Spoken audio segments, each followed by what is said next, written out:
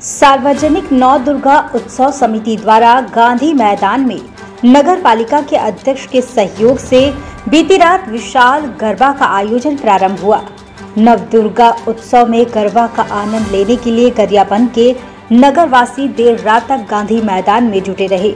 गरबा हेतु प्रशिक्षण देने के लिए प्रशिक्षित लोगों को विभिन्न शहरों से लोगों को बुलाया गया था, जो नवमी तक जारी रहेगा। युवाओं के प्रयासों से पहली बार विशाल गरबा का आयोजन करने का निर्णय लिया गया और आज जब यह कार्य रूप से परिणित हुआ तो देखते ही बन रहा था। इस अवसर पर हज़ारों की संख्या में गरबा देखने गरियाबंद सहित आसपास ग्रामीण क्षेत्रों से लोग रात सात बजे से ही पहुँचने लगे, जिसमें सैकड़ों की संख्या में बच्चे, महिलाएँ एवं पुरुष गरबा की धुन पर गांधी मैदान में थिरकते नज़र आए। पहली बार अच्छी व्यवस्था के साथ विशाल गरबा का आयोजन किया गया है। विशेष रूप से नगर के जागरूक युवक एवं पालिका अध्यक्ष पार्षदों के प्रयासों से गरबा का आयोजन किया जा रहा है। नव दुर्गा उत्सव में गरबा का आनंद लेने के लिए गरियाबंद के नगरवासी देर रात तक गांधी मैदान में जुटे रहे। माँ की भक्ति का एक रूप है गरबा, सामाजिक समरसता का एक प्रतीक है गरबा।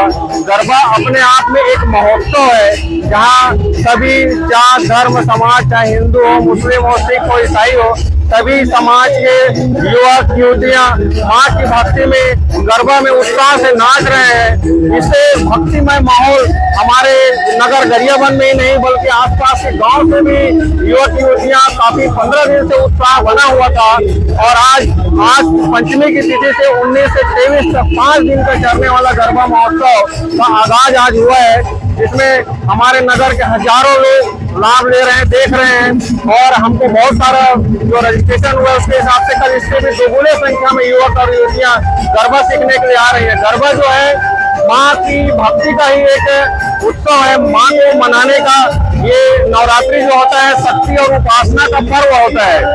और उसी उपासना शक्ति के पर्व में हम उत्साह से नाचते हुए माँ को मनाने का, माँ को अपनी भक्ति दिखाने का ये गरबा एक रूप है।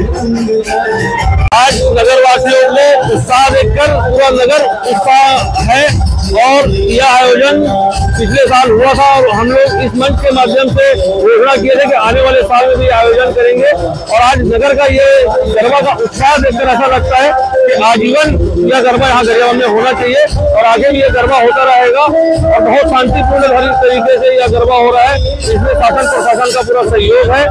इसलिए यह सफल है। नगरवासियों का सहयोग है। आने वाले साल में भी यह गरबा कंटिन्यू होता रहेगा।